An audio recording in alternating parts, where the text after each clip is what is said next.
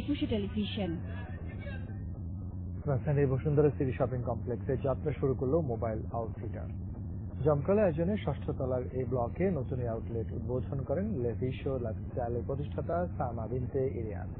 এই আউটলেটে মোবাইলের airport tuition bumper car scheme সংক্রান্ত সেবা পাবেন গ্রাহকরা। অনুষ্ঠানে আরও উপস্থিত ছিলেন লেভিশো লাইফস্টাইলের সহ প্রতিষ্ঠাতা A K M Fazlur Rahman, mobile আউটফিটার্সের brand manager Ziaur Mohiuddin সহ অনেকেই নতুন এই আউটলেট সব ধরনের সেবার উপর থাকবে মাস জুড়ে বিশ শতাংশ ছাড়।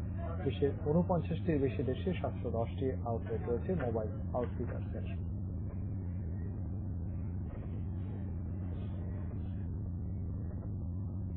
এবারে আন্তর্জাতিক খবর।